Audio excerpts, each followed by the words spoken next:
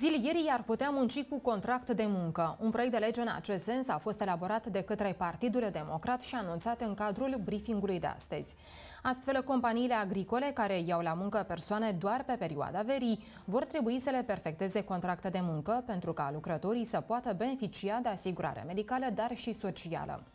Contractele de muncă vor fi diferite față de cele obișnuite, întrucât perioada de angajare va fi determinată, iar angajatorii cel mai probabil vor avea unele facilități din partea statului.